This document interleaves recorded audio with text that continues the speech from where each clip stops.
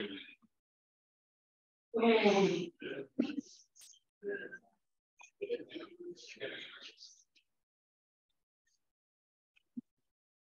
just going to pause for a moment. If I can have your attention. Hello?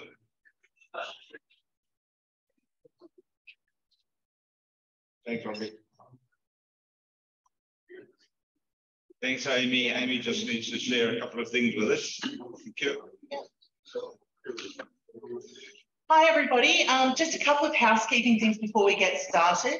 So towards the end of the session with Nathan this morning, there'll be a little bit of time for a Q&A.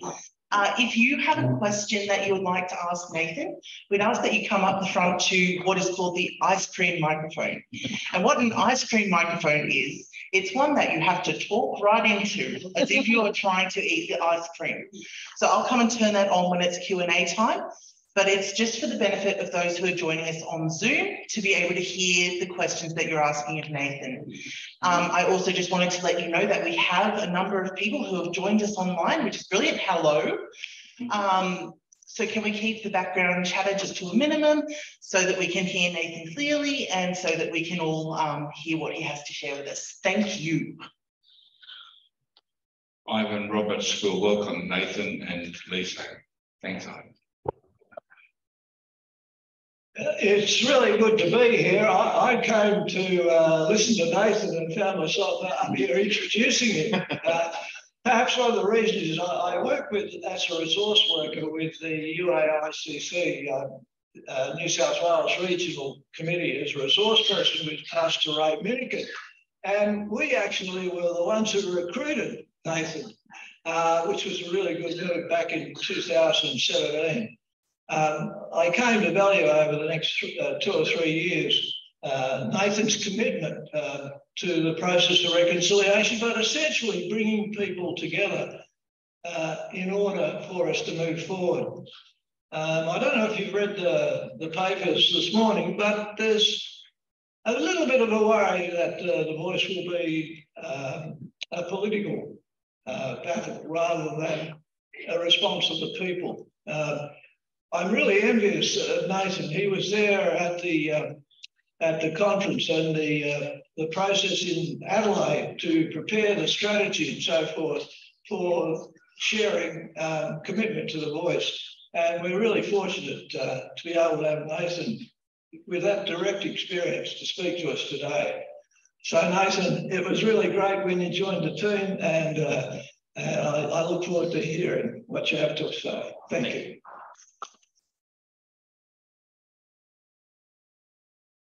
Yama.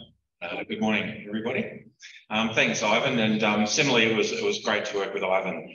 Um, most people know that Ivan's done some some wonderful stuff and been very supportive over many many years um, of First Peoples.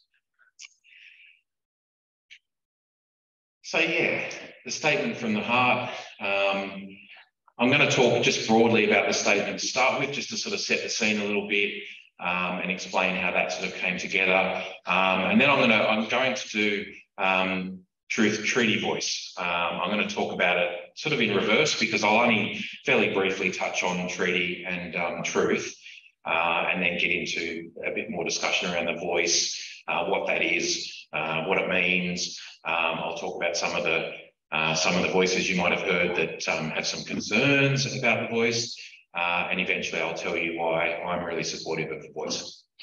So the statement from the heart 2017 um, was preceded by 12 regional dialogues uh, with a number of Aboriginal representatives in the regions coming together to talk about uh, their concerns, needs, aspirations, um, particularly the focus was around constitutional recognition because the, the discussion around constitutional recognition and how to recognise First Peoples in the Constitution had been ongoing through various um, political leadership since about 2010, 2011. There'd been a few committees set up, there'd been research done, there'd been various proposals, but this process was um, had bipartisan support. Uh, it was uh, led by the Referendum Council. It was set up in this model of having 12 regional dialogues to, to consult Um, and you will hear some people say in the Aboriginal community say, well, I wasn't consulted, I wasn't invited. Um, and that's probably the reality um, because it's probably very difficult to get to every individual person and invite every individual to, to a sort of gathering uh, in terms of that consultation. But it was done, uh, as far as I know, reasonably uh, broadly. Um, it wasn't as though it was just hand-picked people. All sorts of people were invited. Um, and I'll talk about that a little bit later as well. So the 12, the 12 regional dialogues uh, resulted in uh, or culminated in the Constitutional Convention at Yulara. Um, so Yulara is about 25 kilometres from, from Uluru. Um, so, because you will also hear some people say it wasn't even at Uluru, it was at Yulara. So yes, it was at Yulara. There's a, a, a big uh, convention centre there. Over a few days, people met these, these uh, delegates met. Um, they had a lot of discussion. Uh, at one point, there was a, uh, a group that did leave uh, the convention. They weren't happy. They didn't feel that they were being heard. Um, they had some concerns, so they did leave. Um, they, they left uh, coincidentally straight into a, a media conference. Um, and if anyone knows about media conferences, they don't just happen. Um, so there was obviously a little bit of planning around what was going to, what they were going to do and what was going to happen. But I do respect, you know, it is a democracy. People are entitled to have their various views and and that sort of thing. So, but I'm certainly not going to pretend that didn't happen. I think it's important to note that there is a diversity of views on this stuff, on the voice. Um, so if we just go in, in reverse a little bit, so I'll start off with truth. So the truth component is about this, what they call a, a what they're called a Makarrata Commission. Um, but essentially it's a, a truth and justice commission, similar to, um, there was a Canadian, uh, I think it was a Truth and Justice Commission or something very similar to that. Um, and what that commission did in Canada was it, it provided over, I think about seven years, the opportunity to talk to uh, Native Canadians about their stories, about things like residential schools and, and the history of colonisation and the impacts of colonisation in Canada. They gathered all those stories together, thought them through and came up with a range of recommendations at the end of that to guide Canada in terms of reconciliation and reparations and how they heal that stuff. So that's an example of how that sort of commission can work.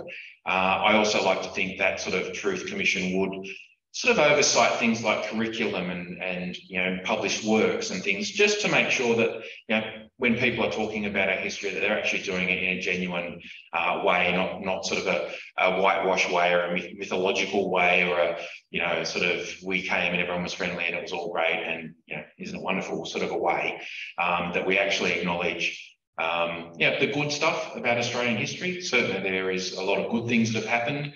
But you know, as I also say, there, you know, there's some good and there's some ugly. There's some really, really ugly, uh, horrible things that happened. Um, you know, things like massacres, um, you know, oppression, slavery, all those sorts of things happen in this country. And uh, it's not it's not about anyone feeling guilty about that stuff, um, unless you've been in a time machine and were back then and you're now here. It's not about feeling guilty because most of us weren't around when a lot of that stuff happened. Some of us might have been when some of it happened, um, but certainly not to say anyone here, for example, was directly involved in any of that. But what, what truth means is that we acknowledge that history and we also acknowledge the impacts it had and the legacy that that impact has left. So we still have significant disadvantage in our communities, as is um, reflected in the closing the gap reports, for example. Um, you know, we have this legacy of dispossession. Uh, we have grief and trauma relating to stolen generations. We still have people alive who were, who were part of the stolen generation and removed as children from their families. So it's about acknowledging that legacy and those impacts and, and the, the real and ongoing impact that that stuff has on an Aboriginal people and communities and Torres Strait Islander peoples. Um, yeah, so that's that's sort of the truth bit that um, I think we've we've been in a process of getting to anyway in this country over, over probably the last couple of decades, but there will be a body that looks after that and oversights that. The other uh, responsibility that that Truth Commission will have is to help with the negotiation of treaties in that treaty process. That's what the statement sort of talks about. And I'm happy to answer questions a little bit later if anyone has questions around the truth stuff. Um, treaty. everyone's probably heard of the treaty issue. Um, I'll just in brief say that uh, as far as I'm aware, and I'm happy to be corrected, but as far as I'm aware, Australia is the only Commonwealth country that does not have a treaty with its First Peoples. Um, treaties exist all around the world in, on all sorts of things. So treaties aren't new, they're not scary. It's basically just a formal agreement that sets out a range of agreed things. So there's nothing to be scared about in a treaty. Um, and in fact, I believe that treaty process is where we will talk about substantive things like sovereignty, land rights, reparations, restorative justice, um, all the things we need to do to put in place to address the past and to be able to heal and enable all parties to move forward, which I think would be a wonderful thing.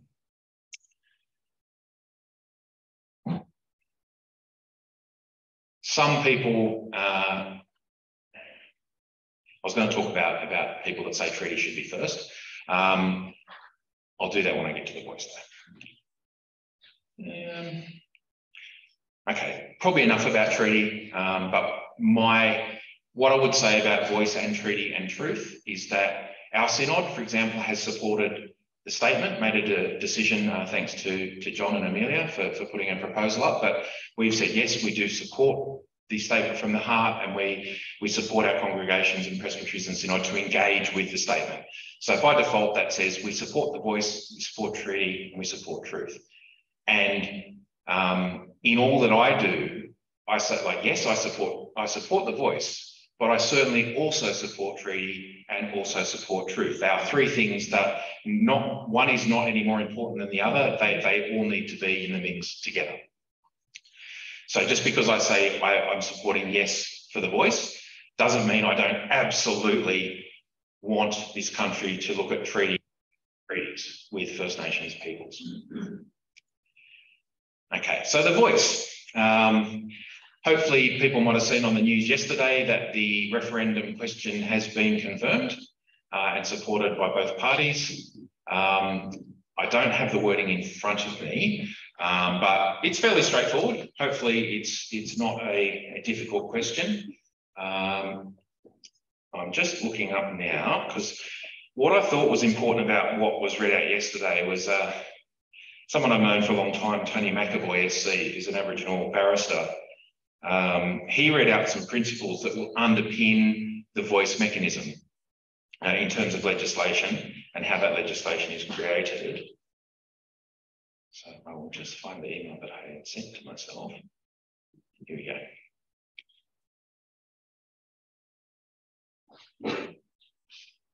I do have internet, which is good. While that's coming up, so I'll just talk about the diverse views. So around the voice. Okay, got it up. So the diverse views. so people might, for example, on Survival Day, uh, a number of us went to Belmore Park to the rally there on the 26th of January. And essentially it was a group of people that were talking about a range of things. They were talking about this in custody, uh, which is a very tragic issue that needs to be addressed in terms of implementation of the Royal Commission recommendations. But they were also very anti-voice. And there were three main, main things that came up in terms of their concern about the voice.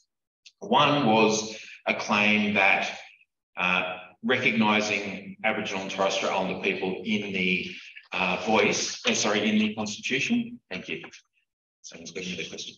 Uh, in the Constitution will somehow result in the ceding of First Peoples sovereignty. Um, I, I'm a lawyer by background. Um, I've been a staunch advocate for, for Aboriginal and Torres Strait Islander people for the last 30 odd years. Um, my understanding is that international law simply doesn't work that way. It's any, any ceding of sovereignty would inherently need to involve the sovereign party in a negotiated sort of and formally agreed outcome. So the Australian government, through through putting a referendum forward, successful or not, um, that doesn't involve free, prior, free, prior and informed consent of the, the state of, of you know, the particular First Nation who, who claims the sovereignty.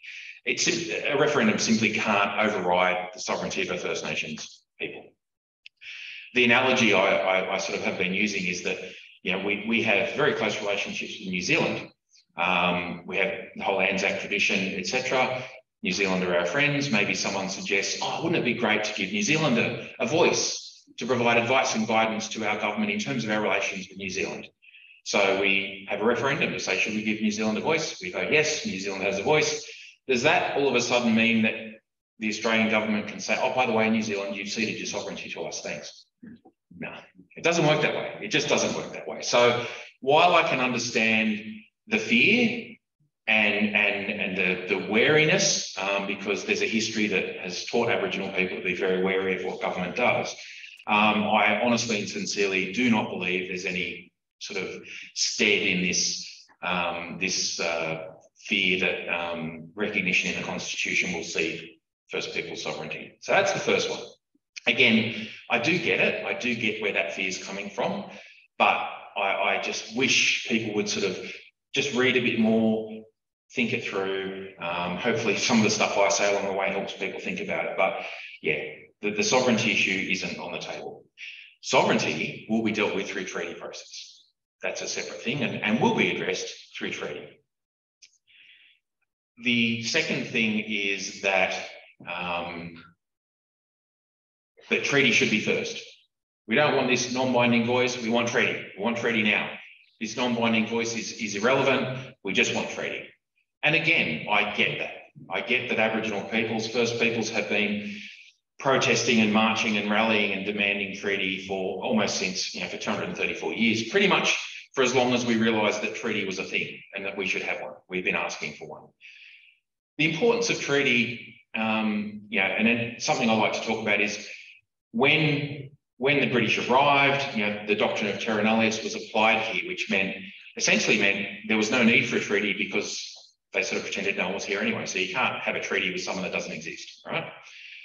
Now, through Mabo, we know that terra nullius was unlawfully applied. Um, it was a legal fiction uh, in terms of that there was people here. But if we look at New Zealand, where there was a treaty, um, the British actually did, you know, they did follow the royal instruction that they were under, which was to be amicable with native peoples and to form a treaty.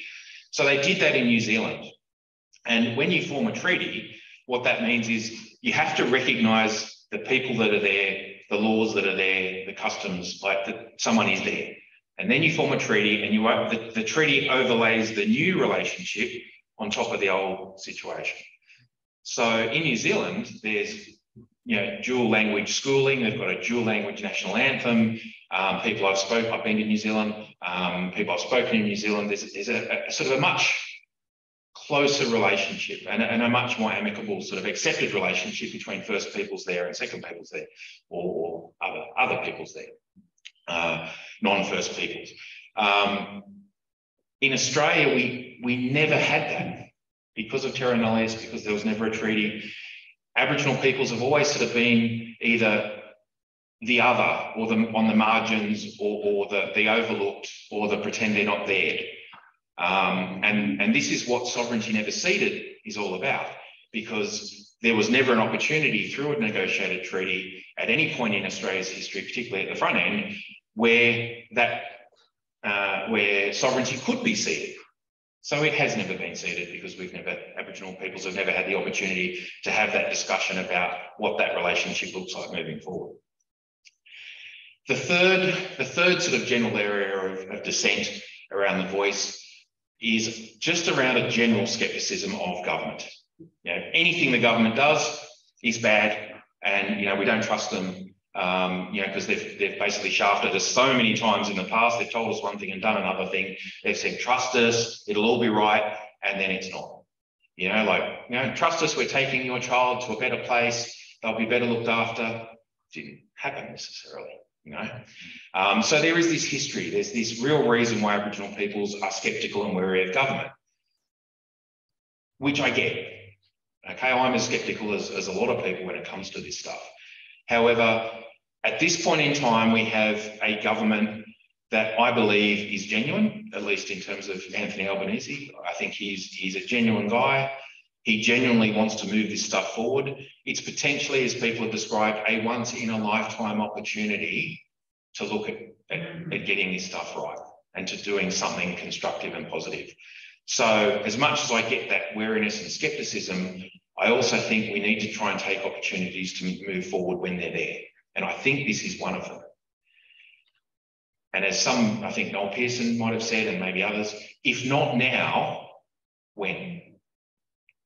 Do we wait another hundred years? Like I won't be around. Um, you know, how long do we wait to address this stuff? How long do we wait to have these discussions and to get this stuff moving forward?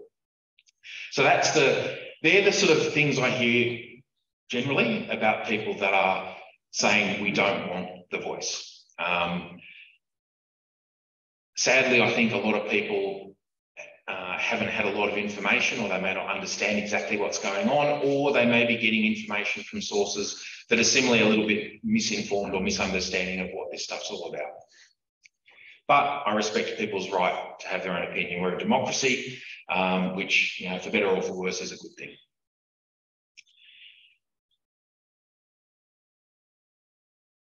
So the principles, um, I'll, I'll, just read the question, so um, thank you for whoever it was that gave that to me.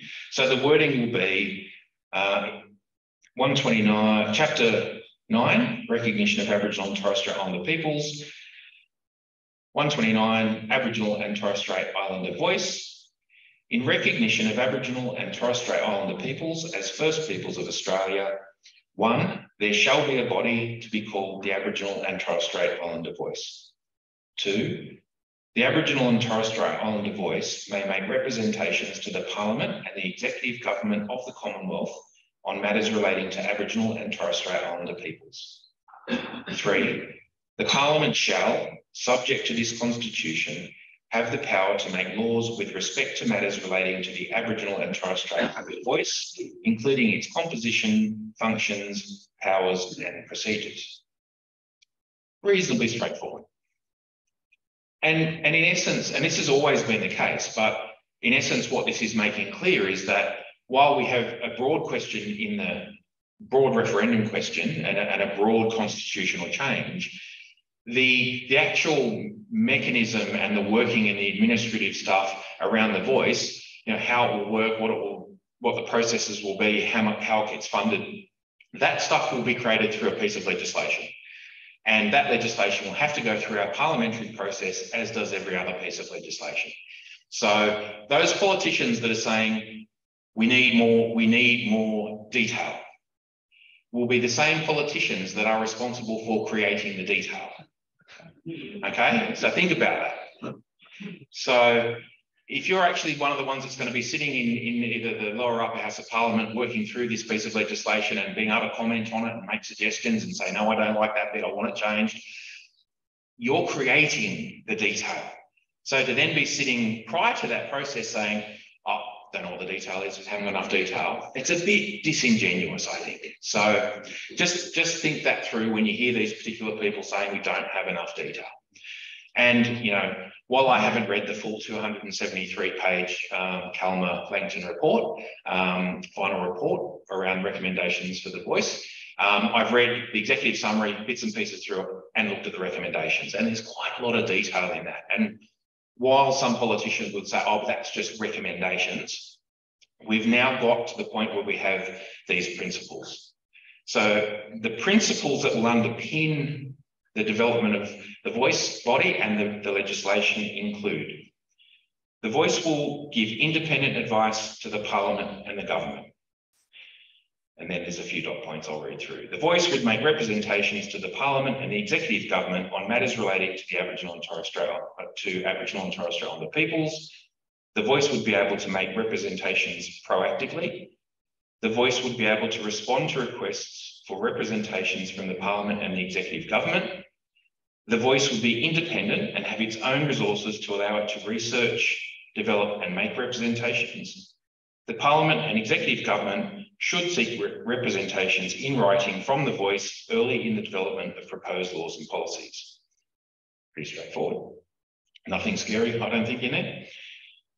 B, it will be chosen by Aboriginal and Torres Strait Islander people based on the wishes of local communities. So the dot points, members of the voice would be selected by Aboriginal and Torres Strait Islander communities, not appointed by the executive government. Members would serve on the voice for a fixed period of time to ensure regular accountability to their communities. And lastly, to ensure cultural legitimacy, The way that members of the voice are chosen would suit the wishes of local communities and would be determined through the post-referendum process. C, will be represented, the voice will be representative of Aboriginal and Torres Strait Islander communities, gender balanced and include youth. Members of the voice will be Aboriginal and Torres Strait Islander according to the standard three-part test. Three-part test of Aboriginal or Torres Strait Islander descent, recognised by their community, their Aboriginal or Torres Strait Islander community, and self-identify as an Aboriginal or Torres Strait Islander person. So that test's been around at least since 1983 in the New South Wales Aboriginal Land Rights Act. It generally works well.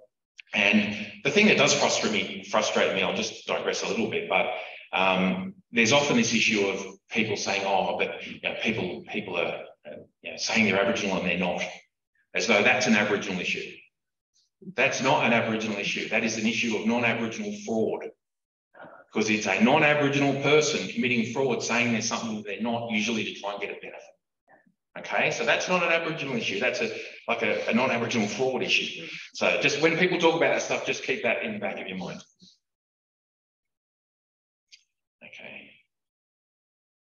Members would be chosen from each of the states, territories, and Torres Strait Islands the voice would have specific remote representation as well as representation from the mainland Torres Strait Islander population, and the voice will have balanced gender representation at the national level.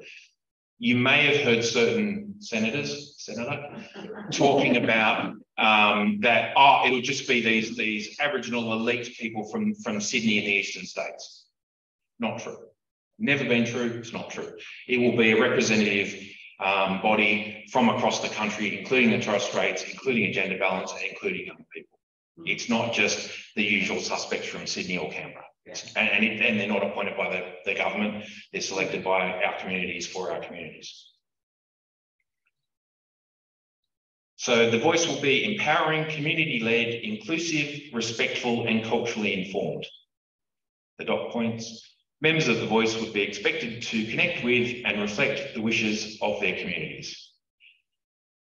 The voice would consult with grassroots communities and regional entities to ensure its representations are informed by their experience, including the experience of those who have been historically excluded from participation. So, for example, you might have heard people say, oh, we've already got voices. We've already got politicians, you know, in Canberra. We've already got um, the Coalition of People, Aboriginal Organisations in New South Wales. We've already got NACCHO, the health body. Yep, we do. Um, we also have the status quo that we've got at the moment.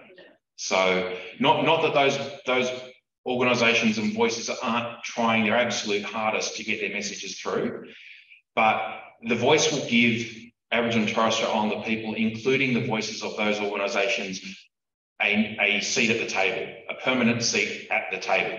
So the voice can actually champion the voices of those bodies directly in. Okay, so um, yeah, if you hear people say, "Oh, we've already got all these voices," so yeah, and and the voice can help to champion and and raise loudly those voices to the ears that need to hear them. They don't have to be writing to, you know, from out here to trying to get a meeting to try and. So the voice will have a seat at the table. It will have a direct line uh, to, to offer that advice and guidance. So the voice will be accountable and transparent. The voice would be subject to standard governance and reporting requirements to ensure transparency and accountability. No one would expect any less. I, I added that bit. um, I should just clarify. People are taking notes because this what it Um, okay. Um, voice members would fall within the scope of the National Anti-Corruption Commission. Uh, voice members would be able to be sanctioned or removed for serious misconduct again. Mm -hmm. Half of the course, we wouldn't expect anything less. Uh, we're up to F. The voice would work alongside existing organisations and traditional structures. Uh, the voice would respect the work of all existing organisations, a bit like I was saying. Six, the voice will not have a program delivery function. The voice would be able to make representations about and propose efficiencies for programs and funding, but it would not manage money or deliver services. So it's just an advice and guidance body. It's not actually going to be running any programs or have program funding and do all that sort of stuff. It will simply advise government and, and also potentially our own organisations, if our own organisations ask for it, but certainly we will advise, advise government about how existing programs are to be developed, implemented, oversighted, staffed, managed, all that sort of stuff. And lastly, and very importantly, the voice will not have a veto power. So for those who will remember uh, Malcolm Turnbull, uh, then Prime Minister, rejecting outright the statement from the heart saying, no, it's a third chamber of parliament and I won't be having a bar of it.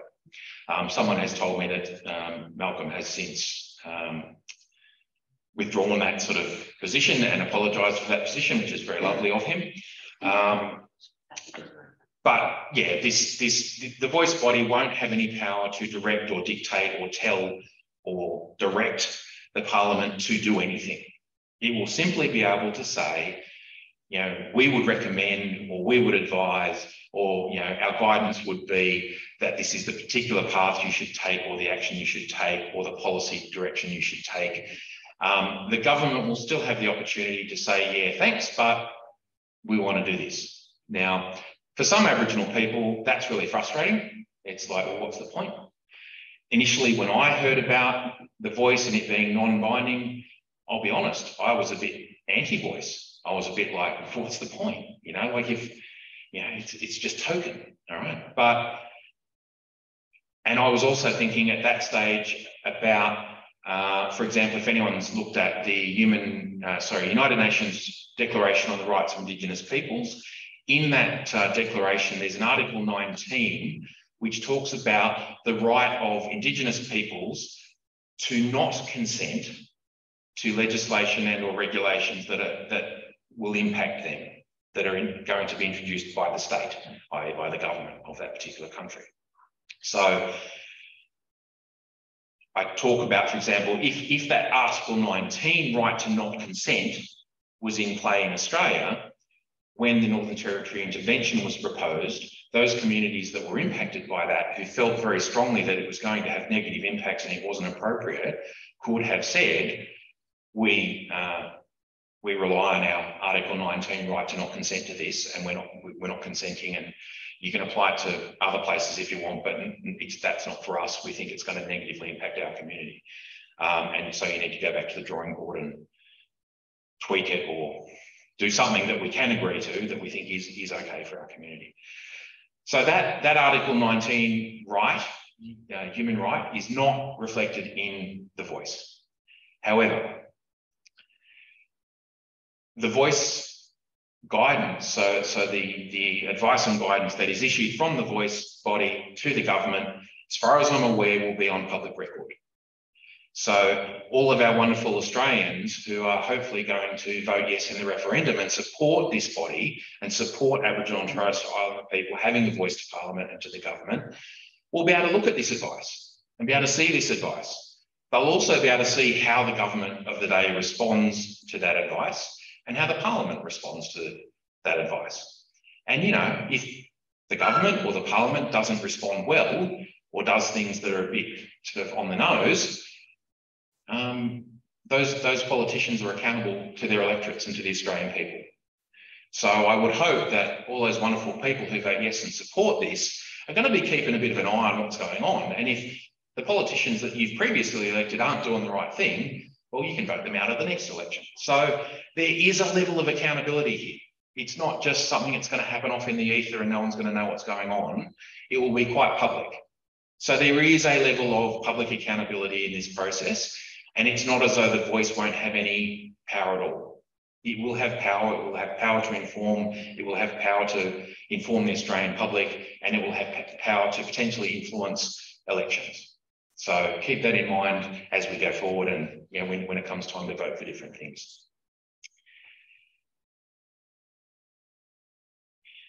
Something that someone said recently to me about the voice was they said, you know, if the Australian Council of Trade Unions, Australian Chamber of Commerce and Industry, Hotels Association, Australian Farmers Federation, all these other groups have got very powerful lobby, lobby groups. They're very powerful lobbyists. They employ people to constantly give advice and guidance to politicians and the government, you know, to try and influence the way legislation is created, develop the way policy is developed and applied. All these other big in, uh, industry groups have got lobby groups. The voice is sort of like an Aboriginal and Torres Strait Islander lobby group. So it's similar to the way that you know the, the ACTU can't force the government to do things. It can certainly talk to the government and say, this is the interest of our members, this is what we'd like to see happen, and you know, it may happen, it may not. Um, so why shouldn't Aboriginal and Torres Strait Islander people have a similar ability to lobby? Um, not to be able to direct, not to be able to force, but to simply say, this is our advice and guidance on what we think will work best in this particular situation. For me, it's like, well, of course we should. Of course we should that, have that ability. Um, in terms of um, broadly the church's position, I think I've mentioned that the Assembly uh, has recently uh, said that they support the yes uh, vote in the, in the referendum. Um, National Uniting Aboriginal and Christian Congress and UAICC or Congress have said they also support the yes vote. Um, Congress have similarly to me acknowledged that there are diverse voices, but as a group, they have supported the yes vote. Um, the Uniting, um, so our Uniting New South Wales ACT, Community Services and Advocacy Body, the Board of Uniting has um, decided to support the voice. So Uniting is, as an organisation, is supporting the yes vote. Um, recognising within Uniting there will be, you know, staff will have various opinions, but as an organisation they are supporting it. So I think, and as far as I'm aware, every other synod, apart from I think Queensland, who are still deciding, they may have decided in the last week, I'm not sure, but as far as I know, every other synod is also supporting the yes vote, um, which is great, which is great. Um, I'll save Jean from asking a question, but Jean has said, when are we going to get shirts like this with the with the, our, our logo on it, with the Uniting Church logo on it. I said, hopefully soon. So I'll work on that. From my point of view personally, um, yeah, look, I think I've really thought it through. Like I'm, I'm, you know, I'm not easily swayed. And as I said, I'm a lawyer. I'm quite analytical by by nature and by training. Um, I've thought this stuff through. I see uh, the voice as a first step in the right direction. I was going to mention this earlier and I forgot. So in terms of the sequencing, voice, treaty, truth, I read an article by Megan Davis um, that you should be able to find if you want to Google it. I think it was written in 2017, um, co-written with a, another lady, I think. And in this article, Megan talks about the fact that in those 12 regional dialogues, what came up that was a bit unexpected was that um, a lot of those representatives from their communities were really concerned about the funding situation. So the Commonwealth funding situation, which had changed in fairly recent times then to what, what's known as the IAS or the, I think it's the Indigenous Advancement Strategy. And what that particular funding process and strategy meant was that the, the application process was sort of streamlined, but also very complex. So a lot of Aboriginal organisations that didn't employ expert grant writers um, lost out to the big NGOs. So, you know, uh, I won't name them, but um, we all know who those big NGO providers are um, because they employ expert grant writers. That's, you know, they employ people whose specific job is to get, is to write these things and get money. So what that actually meant for communities was that these bigger NGOs sort of came into town to take over these service delivery things, programs. It meant the trust relationships that the local community organisations had had weren't there in these new arrangements. It meant that the Aboriginal people from local communities that were employed in those programs to deliver those services lost their jobs. Very significant. Um, and yeah, it caused a lot of a lot of frustration, a lot of anger and concern. So a lot of these delegates in the regional dialogues, apparently, according to this article, um, were raising concerns about this funding situation and saying we want the chance to go and talk to the government about what's going on with this with this policy and this funding because um, it was critical. You know, people losing jobs, communities aren't getting the, the culturally appropriate services, etc. So for that reason, or that was one of the main reasons why the voice was put first and treaty second. Again, not that treaty is any less important, and Megan Davis makes the point to say that the, the voice treaty truth wasn't saying that voice is most important, treaty is sort of half important, and the truth stuff's not really that important. All of the three things are equally important, but at the end of the day, the dialogue said we want this voice to Parliament so we can address particularly this funding stuff, but other things. On the way down, I was talking to, to my wonderful partner, who I won't point out, but um, she's up the back. Um, and we were talking, and I was saying that one of the things about the Uluru Statement from the Heart was that the, the conveners uh, were going to, the Referendum Council were going to issue it to politicians. Yeah, they're going to issue it to Anthony Albanese. And, but they got to a point and they realised that, you know, things like the Barunga Statement, um, uh, Yirrkala Bark petition, a Kirribilli statement, and various other statements and petitions that had been made by Aboriginal people over many, many years and decades that had been given to politicians to handed to prime ministers. Most of them are now sitting in cabinets as sort of artworks in Parliament House. Mm-hmm. They didn't work. They were like, oh, thanks for that. We'll have a look. Thanks. Oh, isn't it pretty? We'll stick it up. Yeah.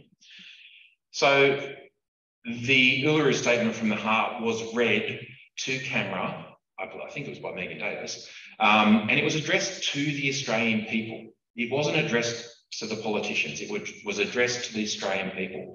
It was a call to the Australian people and an invitation to join in this, in this work and to move this stuff forward. In recognition of, it's the Australian people who are going to vote in a referendum. It's the Australian people who elect our politicians. It's the Australian people that in our democracy have the power, ultimately. So that's why it was read that way. So I think, and Lisa, Lisa sort of said, oh, I didn't know that. And that's important. So in case any of you didn't know that, that was why it was done that way. So how am I going for time? Is it about question? Yeah, yeah. Um, so look, I'm voting yes. Um, as I said, like I've really thought it through. I'm an Aboriginal person. I'm an Aboriginal lawyer. I'm, you know, I've protested, I've marched, I've, I've you know, worked for the Anti-Discrimination Board and, and defended rights of Aboriginal peoples for 30 odd years, um, and I'm voting yes. And I would really encourage all of you to certainly read, listen, you know, keep up to speed with what's going on, but I would encourage you all to also vote yes. Thank you.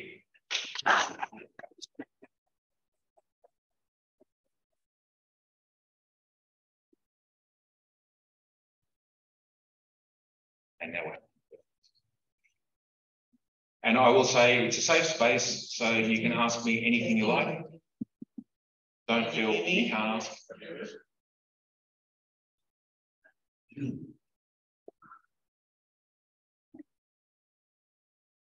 I had two questions. Where should I look? Maybe, maybe the people on camera. The camera can't quite two questions. My first one's partly answered. Where can I get a yes t-shirt? Uh, second one is I'm going to be brave and engage people in our church. We're all we're all different, and I'm ready for somebody to say that's political. How like church and politics don't mix. So what what will I say next? I think my, my gut response is to say I think Jesus might disagree. um, I, I, think he might disagree. I think I think a lot of Jesus's life was impacted by politics, particularly the end of it. Um, look, the reality is, um, as an Aboriginal person, my daily life is political um, because so much of my my my own well-being, my family's well-being, and my community's well-being depends on the on the actions and decisions of politicians, the programs that are run, the services that are provided, um, how we're treated, all sorts of things. Our the lives of Aboriginal people are inherently political, even even though we don't want them to be, and we wish we could just get on with it. Which is hopefully after Voice Treaty Truth, we get that stuff sorted. Hopefully, we can all eventually move on and get on with the other fun things in life. But um, the Uniting Church is also um, a church on the way. It was always considered this church would be moving forward. That's why we're not called the United Church. We're called the Uniting Church because we're on the way. Our church is fundamentally a socially social justice oriented church. We believe in those things. Um, personally, uh, in my faith, I like to think that Jesus was the original social justice warrior. You know, he was concerned about the other. He was concerned about the people on the margins. He was concerned about the weak and the oppressed. He was concerned about the impact of authority on the everyday person. So as, as members of the Uniting Church, um, while it may be a bit political, it's it's sort of like saying, you know, being that being the good Samaritan, oh, that was a bit political. You know, you know, well, well, the priest didn't do it, and the Levite didn't do it. The people that, that were the, the the probably more more powerful and respected people in the community didn't stop and help, but the Levite did. The Levite was probably not. Um, sorry, Samaritan. The priest and the Levite went. Sorry, I'm thinking it's like a priest and the Levite went. Samaritan stopped. It is the good Samaritan story. Um, so, so I think you know it's it's not so much about being political as it is about social justice and doing what's right. You know, it's the Good Samaritan story. It's it's the Matthew 25, 31 to 46 story of the sheep and the goats. How do we treat the least in our community? Ultimately, we're not going to be judged on how wealthy or big our church is. We're going to be judged on how we treat the least in our society. You look at the Closing the Gap report, Aboriginal and Torres Strait Islander people broadly, generally, are the least. You know, socioeconomically, our statistics are, are you know, they just show the, the broad disadvantage um, and the margins where Aboriginal people live in. You know, housing, health, employment, overrepresentation, deaths in custody, like a whole range of things where Aboriginal people are just fighting this fight to survive uh, on the margins and feeling a bit like the other and that we're, we're sort of not seen and not heard. So I would suggest that it's not it's not about politics, it's about faith. I hope that answers it. And that's just my personal view. We have a question from online. Uh, just one second, John. What does sovereignty mean and what are its legal ramifications? Okay. Um, so look, sovereignty, I mean, a lot of people think of sovereignty in terms of, for example, in, in the, the, the English sense, you know, the, the monarchy, you know, the king or the queen is the sovereign head of state. Um, they, you know, the sovereign power controls the land and all that's in. Um, in an Aboriginal cultural sense, sovereignty is about custodianship and care for country. It's about looking after it's about a really complex relationship with, you know, land and animals and the environment, where it's a, a mutually beneficial relationship. Um, Aboriginal people survive for 60 odd thousand years in a very sustainable way.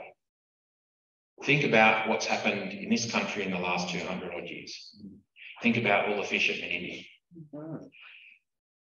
I would struggle to believe that that would have ever happened in the 60,000 years prior to colonisation. So sovereignty for Aboriginal people is this, this mutual relationship and link with land. Um, land is part of culture, it's part of heritage, it's part of law, it's part of our spirituality, it's intrinsically part of who we are. So it's not as though, you know, and, and the difference in, in views of sovereignty are simply differences in cultural perspectives and cultural worldviews. So, you know, a Western concept of land might be around land as an asset, land as a power base, land as a resource to provide an income. From an Aboriginal perspective, land is about sustainability and mutual respect and caring and that relationship. But it's I think it's it's a bit disingenuous for people to say, oh, but because Aboriginal people don't think they own the land, they're not there's no sovereignty there.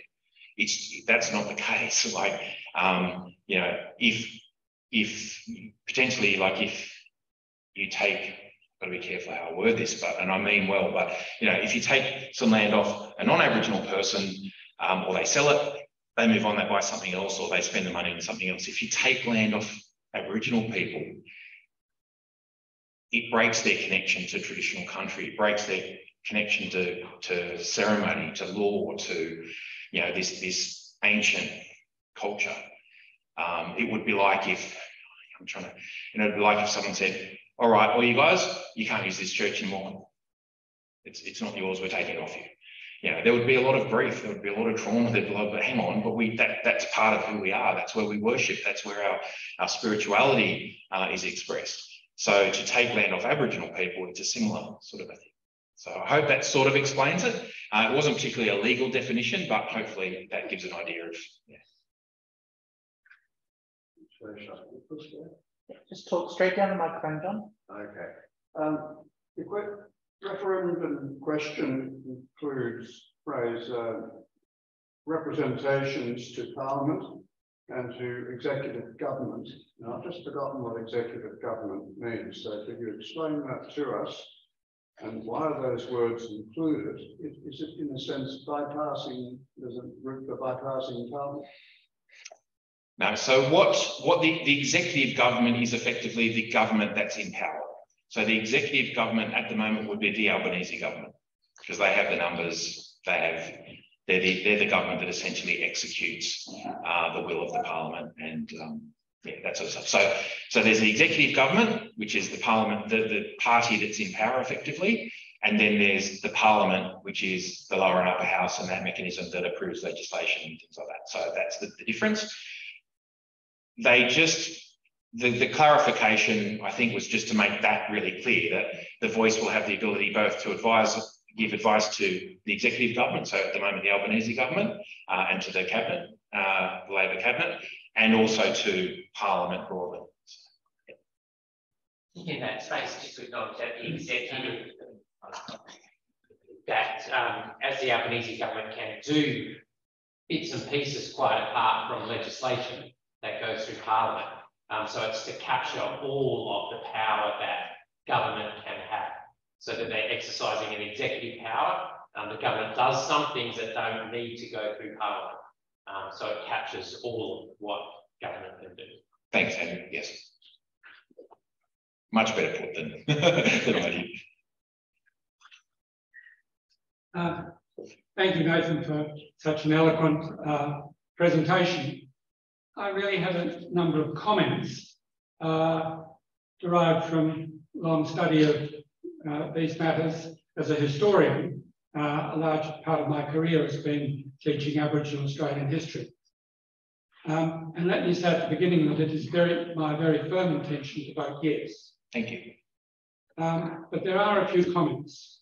Firstly, I think there's a great deal of sloppy understanding of Australian history including Aboriginal Australian history and our constitution, in a lot of what's talked uh, and very commonly put around. And I don't agree with a number of uh, thing, number of points that you've made this morning, but there's no point in talking about those in detail. We can chat later. um, the, I would emphasise the great difficulty that there's going to be in realising the voice. Uh, should it get up in the consult uh, in, the, in the referendum. Uh, as the body settles down, I think there are going to be a number of difficulties. One that I have to say concerns me uh, in terms of my personal view of identity is that I think the question of establishing Aboriginal Indigenous identity is going to be much more difficult than people realised for a few people. I don't agree that the three-part test is successful, uh, and it hasn't been in the courts to date, of course. But the important thing about the voice, it seems to me, is that it's the present day presentation of policy between Aboriginal and Torres Strait Islander Australians and other Australians. Now, this, this policy, or these series of policies have a very long history way before 1788. Australia did not begin in 1788. European Australia began in 1606. And lots of people were thinking about Australia and Aborigines before 1788. But this process has gone on, and it seems to me that the, the voice, if it gets up, will be a useful addition to these policies. And a present day uh, present, uh, determination about policies towards uh, each other. Uh, so I would urge people to vote yes for this. The other side of it is to vote no is, I think, to create all sorts of difficulty in much wider processes that are under, underway in the society. Uh, it would cause a vote, and if the referendum fails, it will cause untold difficulties. But voting yes is worthwhile, if only to promote all these other processes that are going on, good processes in Australian society to get today. So thank you. Thank you. And look, certainly, um, you know, Aboriginal people were having international sort of diplomatic relationships with people from Indonesia, the Dutch, um, and a range of people prior to uh, 1788, um, which is interesting. I often like to talk to, to people about that in terms of, you know, Aboriginal people we're not this sort of noble savage. We had international relations, we had diplomatic relationships and trading relationships with other countries. Um, people, you might see on social media, sometimes people say, oh, if it wasn't for if it wasn't for white people, you wouldn't have televisions and fridges. And if you haven't seen that, it does happen. People say that. Um, but what I like to say is that look, we were trading with Asia well before the British got here. Asian people make pretty good TVs and fridges. I reckon we would have. uh, anyway, I digress. I digress.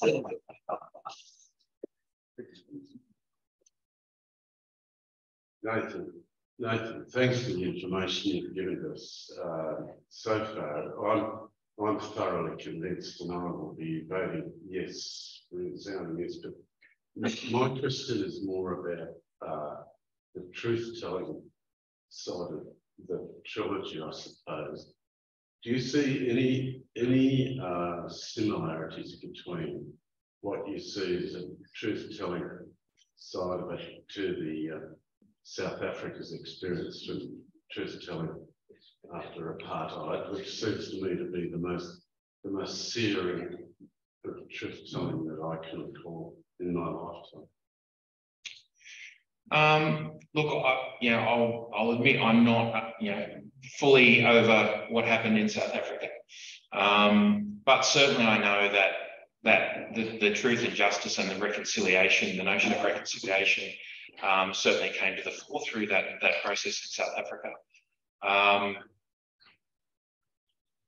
it certainly, there's going to be some difficult and challenging times ahead in terms of as we as a nation come to terms with things that, you know, there will be things that have happened that I don't know about. You know, I'm, I'm reasonably aware of a lot of things um, through just through research and, and, reading, but I'm sure there will be some stories that come out in due course um, that very few people are currently aware about that will might shock shock us. Um, in terms of what was mentioned earlier about uh, the challenges of the, the voice referendum and, and it might be difficult to get up. 100% um, this is going to be a difficult process. It's not, it's not a given. It's not, there's, there's no sort of um, just acceptance that this is, this is a done deal. So the referendum will require a majority of Australians to vote yes. That may or may not happen. Uh, people occasionally say to me, but how will Aboriginal people feel if, if people vote no, if the no gets up? I think a lot of Aboriginal people and I think a lot of non-Aboriginal people will be very disappointed in that result. However, I, I often think a lot of non-Aboriginal people probably don't understand that Aboriginal people have been used to getting the raw deal and the bad outcome for decades and centuries. We're pretty resilient. We're used to fighting. We're used to getting knocked back and getting back up again. Um, so it, I think they will be disappointed, but for a lot of Aboriginal people, it might be just, yeah, I figured that'd happen. You know, sadly, sadly. So I don't want that to be the case. You know, I want I want this to be a good outcome, and I want want us to be able to move forward as a nation. Similarly, if you think that the voice discussion is difficult, wait till we get to treaty. wait till we get to treaty. This is where we're going to be talking about things like Article 19 rights, about a right to not consent. We're going to be talking about sovereignty. We're going to be talking about land back. Um, I will allay people's fears. My understanding and, and best guess is that what we would be talking about in terms of land would be very similar to other land rights processes at the moment, which is predominantly unused Crown land.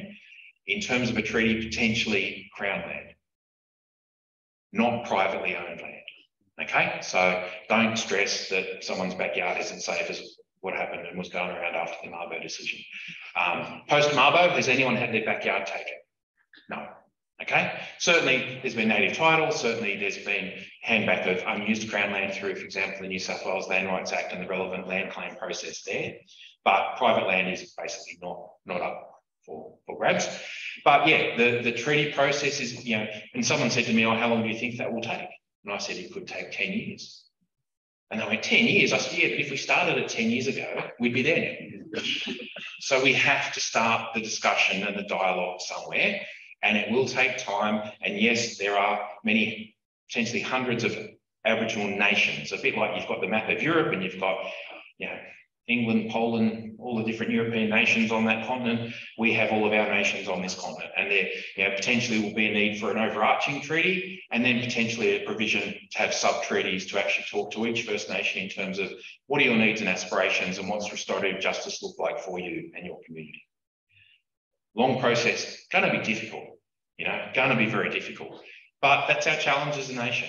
That's something we need to work through. We need to we need to get to the other end of that um, to be able to move forward as a nation, for healing to occur, and you know, to put this stuff sort of behind us and move forward.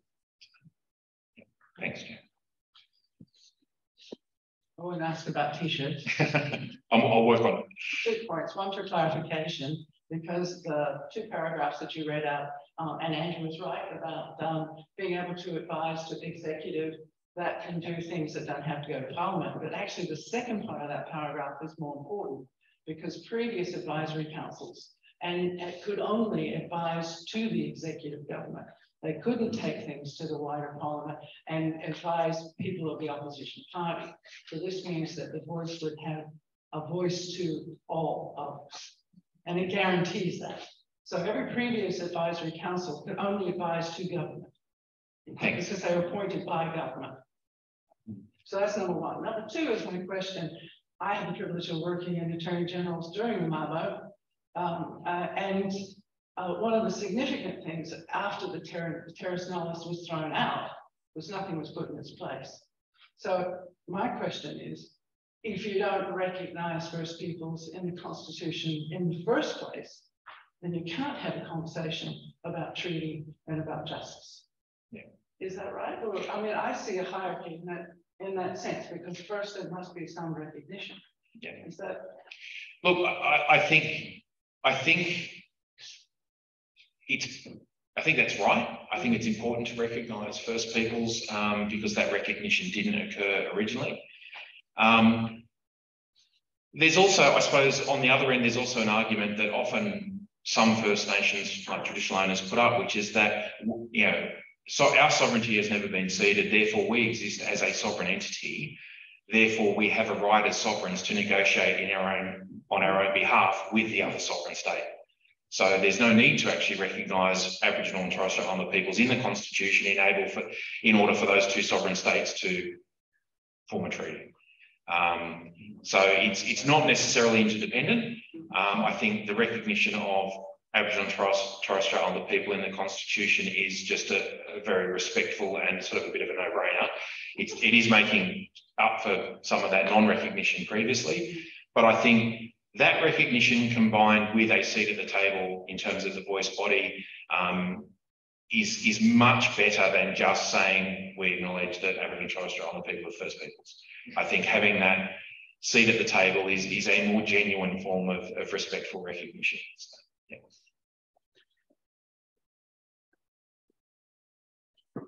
Uh, for, for, those of you who don't know me, I'm Andrew Wright. I'm from uh, Wesley Uniting. Uh, Nathan, thanks for coming um, and presenting to us. Um, your comment on imagine if it had started 10 years ago, where we'd be, imagine if it had started in 1967. Um, True.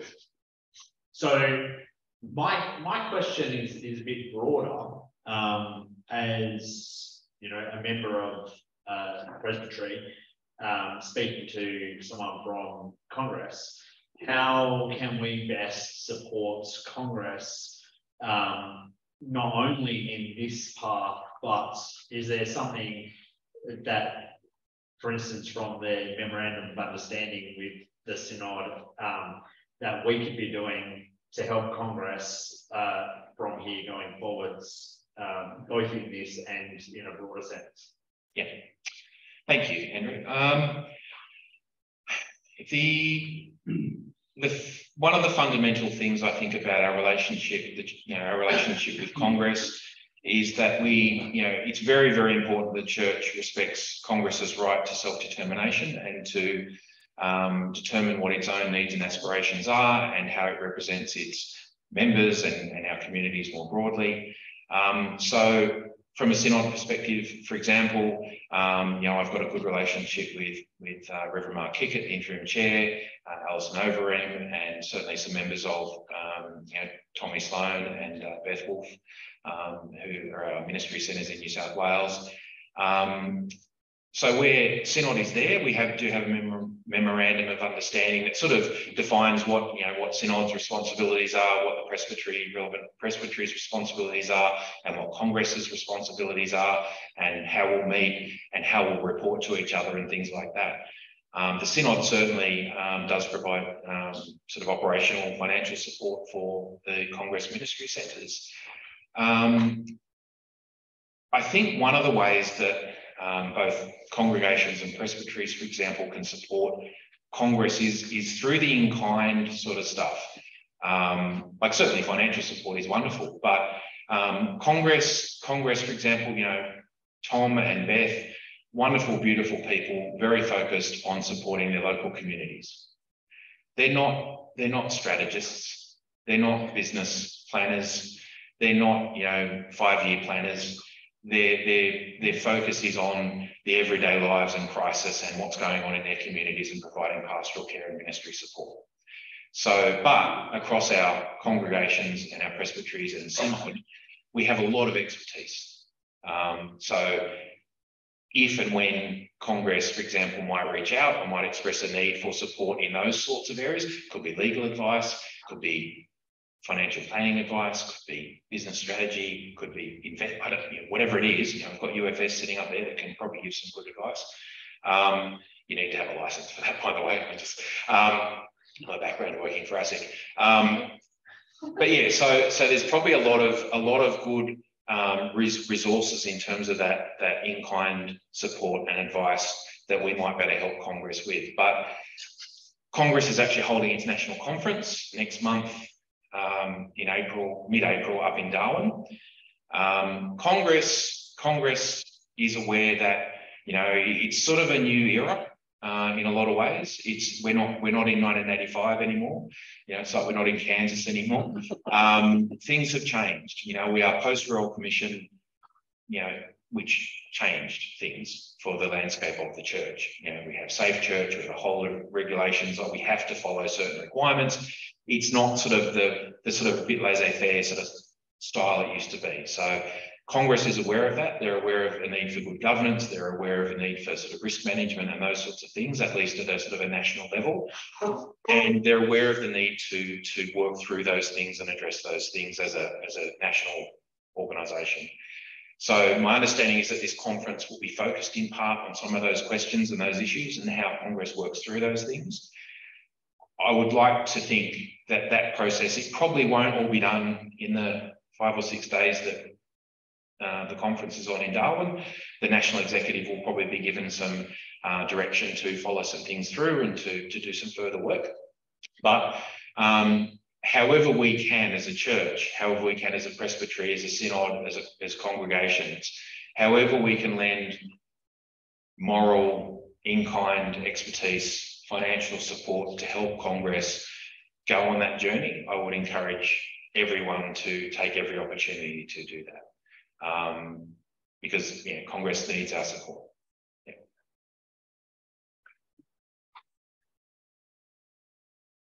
Thank you, uh, Nathan. Uh, again, um, I uh, had the privilege the last two weeks of hearing from you in our formation classes at UTC. Um, so it's been good to kind of share that with everyone here as well. Um, main question is around uh, resourcing. And are you aware of any uh, plans from Assembly or Synod to actually resource presbyteries and congregations to have these conversations leading up to the referendum?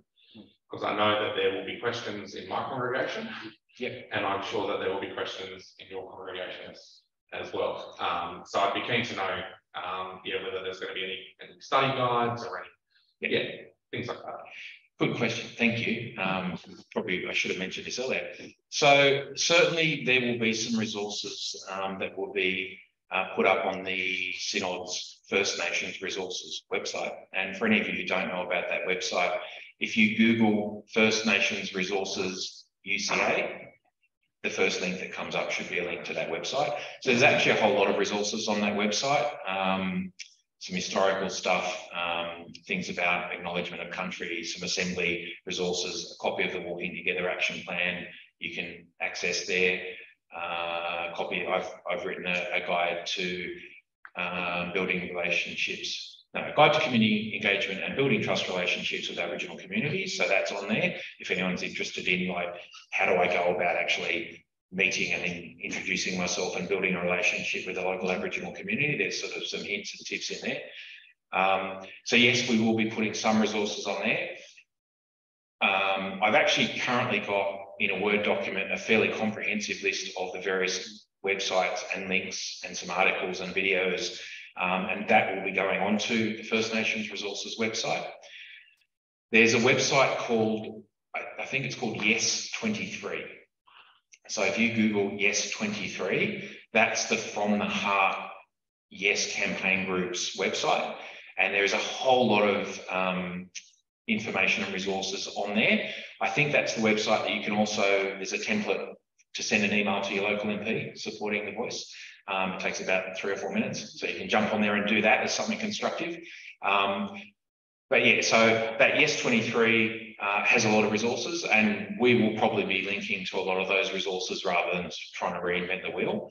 Um, so yeah, there are some resources there. I'll try and get them put on the, uh, or I will get them put on the Synod website, the First Nations Resources website.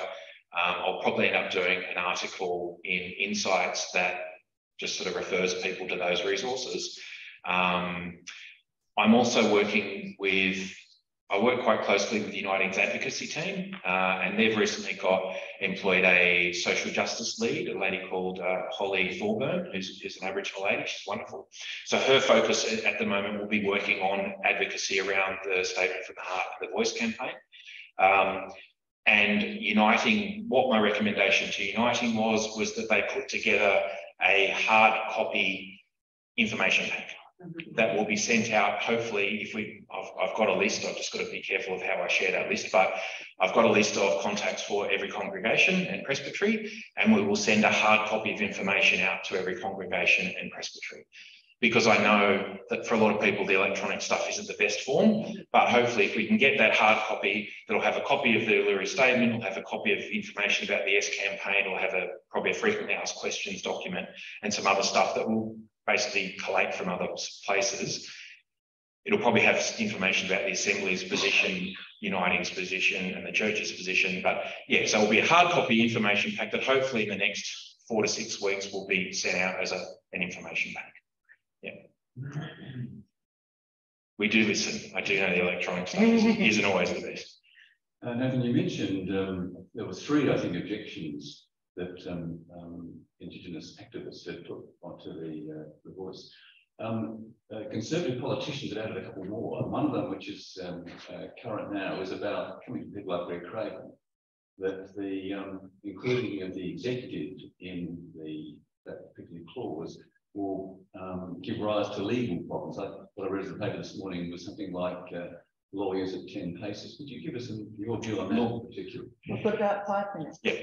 So in a nutshell, look, as much as we would like to think it were different, there is still a significant level of racism that exists in this country. It just is. Hopefully not in this room, but certainly in parts, elements of our community. I mean, we have far right people, we just sort of neo-Nazi people marching. Um, you know, these these elements exist in our community. Um, I think it would be it would be an imagination to say that that that sort of thinking doesn't exist in any of our parliamentary you know, representatives. Um, there are there would be people that for their own reasons and you know they, they don't support this and they probably wouldn't support the rights of Aboriginal people in any sense, just because of their own personal views on things. I think, I think this talk about, oh, there could be high court challenges and there could be, I mean, how long is a piece of string? You know, sure, someone might lodge a high court challenge. They, people can lodge a high court challenge over almost anything they want in terms of politics and people doing stuff. The High Court might say there's nothing to this and throw it out. Okay, so we live in a democracy, people have the right to challenge things, that's okay. But in terms of saying our courts are going to get bogged down in challenges, I think my reading, the plain reading of this question um, and of what the voice, the power that the voice will have, the plain reading of that, the, the, the way that the everyday person would read that, it's very clear that the power of the voice is limited and that the parliament will have the authority to create essentially and to um, through legislation determine what the power of the voice is and how that works. So I don't see it personally from a from a legal. I'm not a constitutional lawyer, so I can't give, and, and I'm not a practicing solicitor, so I can't give you legal advice. But my personal opinion is that it won't be this this drama that certainly people are making out to be. I, I see this sort of commentary as something like, you know, Peter Dutton saying, oh, I need more detail, when he'll be the one that does the detail stuff. This, this legal position, because there are plenty of lawyers, plenty of very, very smart lawyers who are saying this isn't an issue. You know, like Albanese, Albanese government is saying there's plenty of detail and the opposition saying there's not enough detail. There are lawyers saying this is fine, there's not an issue here. Other lawyers are saying, oh, but I think there could be an issue. I mean, it's, it's all, um, it's just, oh, I forget what the word, but guesswork. You know, they're, they're guessing that maybe there could be these problems. There's no actual evidence, substantive evidence that there will be a problem. So if and when there might be a challenge to something, we're a pretty you know, reasonably smart nation and we've got courts and we've got judges who are pretty smart and they'll work through it. Not a big deal. You know, like our courts work through challenges to all sorts of other things. You know, there's plenty of other legislation that gets challenged occasionally and yeah, we, we survive. You'll be right. As we come to an end of this uh, really wonderful and illuminating session with, uh, with Nathan, uh, I'd like on, on behalf of Canberra Region Presbytery to, uh, to thank you, uh, Nathan, for, uh, for sharing with us. And I'd like to say it really makes me proud to be part of the Uniting Church. I feel that, um, as, as Nathan has expressed it, we have a theology that's that's grounded in the gospel and that the yes vote is very much aligned in our Christian doctrine. And uh, so, uh, sincere thanks, Nathan, for uh, making the effort to, uh, to come and speak with us today.